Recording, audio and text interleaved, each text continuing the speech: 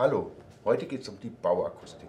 Bauakustik ist ja immer ein schwer zu greifendes Thema. Da handelt es sich um dB-Werte, die man irgendwie gar nicht richtig einschätzen kann und an welchem Ort und wie. Für dieses Thema haben wir heute den Abidin eingeladen. Äh, Abidin, sag uns doch mal, was sind denn so die Haupteinflussfaktoren oder Themen, die es bei der Bauakustik gibt? Also wenn man systematisch rangeht, würde man aus der Akustikerperspektive sagen, man unterteilt zwischen einem, einmal der Bauakustik, und einmal der Raumakustik. Wir wollen ja heute Fokus, äh, den Fokus auf den Bauakustikbereich legen. Und wenn wir den Schallschutz in diesem Bereich Bauakustik angucken, teilt er sich in zwei Teile erstmal, dass wir sagen Schallschutz gegen Außenlärm. Man sieht sie auf dem Bild schön, dass die entsprechenden äh, Lärmereignisse aus dem Außenbereich, Flugzeuge, Autoverkehr, Züge, sonstige Geräusche aus dem Außenbereich einmal zu unterscheiden sind dass die Gebäudehülle dementsprechend konzipiert sein muss, dass sie die innen lebenden Menschen davor schützt, entsprechenden Komfort bietet und im Innenbereich der Schallschutz gegen Innenlärm, dass die Wohnungstrenndecken, die Wohnungstrennwände der verschiedenen Parteien in einem Mehrfamilienhaus auch sauber voneinander getrennt und dimensioniert sind. Auch da muss eine entsprechende Planung stattfinden zwischen Architekt und Bauphysiker im Idealfall, dass das dann entsprechend äh, integral geplant wird und dann funktioniert das in der Regel auch ganz gut. Okay, jetzt hast du hier ein Treppenhausmodell hier mitgebracht. Äh, die Treppenhaus scheint ja so ein zentrales Thema für die Bauakustik bei Max Frank zu sein. Genau. Kannst du uns mal erläutern, dass wir das mal greifbar oder hörbar kriegen, genau. worüber es sich da handelt?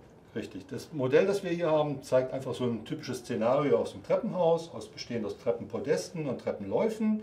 Ähm, das haben wir, eins haben wir davon entsprechend starr äh, aneinander angekoppelt und dieses Podest und ist mit diesem Lauf entsprechend entkoppelt. Und ich würde jetzt mit einer Spieluhr versuchen fortzuführen, hörbar zu machen sozusagen, wie sich das anhört.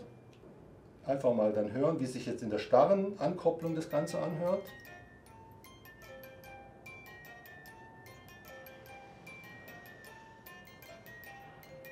Wenn ich jetzt umsetze auf den entkoppelten Bereich, hört man doch merklich, dass das nicht mehr so laut ist wie vorher und das zeigt einfach, dass die Entkopplung funktioniert. Ich setze nochmal zurück.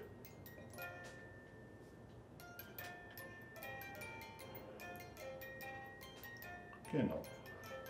Also man kann hier sehr schön zeigen, der Tritscher, der eine besondere Form des Körperschalls ist sozusagen, ist schon wichtig, entsteht durch Laufgeräusche oder eben im, im Gebäude wird es durch Stühle, Rücken oder dergleichen stattfinden auf den Trenndecken. Aber hier reden wir über das Treppenhaus. Da findet es ja, weil es ja eine Verkehrsfläche ist, wird es ja begangen. Und da muss man natürlich durch die entsprechende Planung das versuchen entsprechend äh, zu, äh, einzugrenzen auf jeden Fall.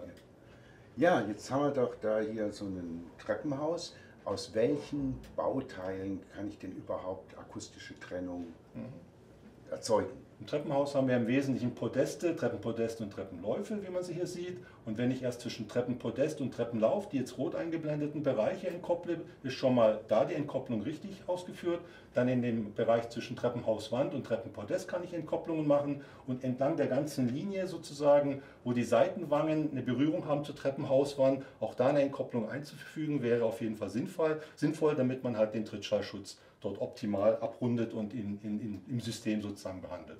Abedin, jetzt erklär uns doch mal, welche Bauteile haben wir denn eigentlich, Bauprodukte haben wir denn, um die Treppen zu, akustisch zu entkoppeln? Also im Treppenhaus geht es uns um zwei Bereiche im Wesentlichen. Das ist einmal jetzt der, das, das Podest, die Entkopplung von Podesten und von Treppenläufen. Wenn wir die Podesteinkopplung äh, meistern wollen, dann haben wir zum Beispiel als Max Frank zwei Lösungen. Einmal unseren Ekopal, bestehend aus so einem Ankerkörper mit einer entsprechenden Akustikbox dahinter, die in der Wand dann entsprechend äh, einbetoniert ist. Dann haben wir hier eine weitere Variante, das ist unser Ecosono mit einem entsprechenden Akustiklager in dieser äh, ähm, entsprechenden Box, der in diese Zapfen entsprechend, wo die Zapfen hier eingreifen. Wenn wir uns die Laufentkopplungen angucken, da können wir auf zwei Varianten auf dem Bau stoßen. Einmal den Ortbeton-Ausführung, also wenn das in Ortbeton ausgeführt wird, dann bietet sich hier das an, mit dem EcoStep den Treppenlauf vom Treppenpodest zu entkoppeln. Und wenn wir das ähm, mit Fertigteilelementen machen, also wir haben Fertigteillauf und wir haben Fertigteiltreppenpodest, dann bietet sich das an, diesen Ecoskal zu verwenden, der in der S-Form hier dann einfach in die entsprechende Konsole eingelegt wird. Der Lauf wird entsprechend darauf eingesenkt und dann ist es sauber entkoppelt auf jeden Fall. Spannend. Jetzt interessiert mich natürlich wirklich am meisten, wie funktioniert denn jetzt eigentlich der Ecopal hier? Mhm. Ja, der Kupal, ich bereite das mal so ein bisschen hier vor, damit man das so ein bisschen von der Seite zeigen kann, wie das aufgebaut ist, das ganze Prinzip. Also das ist im Prinzip so, dass wir, wie gesagt, ähm, hier die Wand eigentlich in der Realität haben, wo die Akustikbox schon im Vorfeld im Zuge der Wanderstellung mit einbetoniert wird. Später, wenn man den äh, Podest dann entsprechend betoniert, wird natürlich der Ankerkörper in diese Bewährungsthematik mit eingearbeitet und auf entsprechende Fugenmaß gestellt. Ähm, je nachdem, was auf der Baustelle notwendig ist. Und dann ist es eigentlich am Ende ein funktionsfähiges System. Wenn man jetzt mal tiefer reinschaut, also wenn man aus schalltechnischer oder trittschalltechnischer Sicht wissen will, wie sieht es denn da drinnen aus, dann muss man sich das Innere mal angucken, das Innenleben.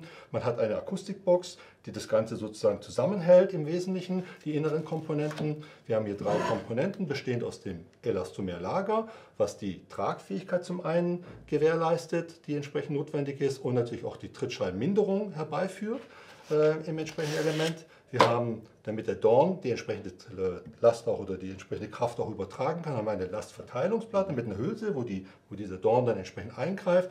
Und damit dieses Gebilde nachher nicht an der Akustikbox entsprechend diesen Schall vielleicht oder die entsprechenden Trittschallphänomene weiterleiten kann, ist ein Dämmkörper außen drum herum gesetzt und das ganze Gebilde ist nachher in diese entsprechende Akustikbox verbaut und somit gewährleistet, dass auch dieser Schall später sich nicht über diese Box wiederum in dem äh, Gebäude weiterleiten kann. Super. Jetzt haben wir ja wirklich viel erfahren, große Bandbreite. Also wir sehen, wie wichtig doch im Vorfeld ist, bei der Planung von Treppenhäusern die Bauakustik zu berücksichtigen und welche Maßnahmen es da eigentlich gibt. Danke und bis zum nächsten Mal.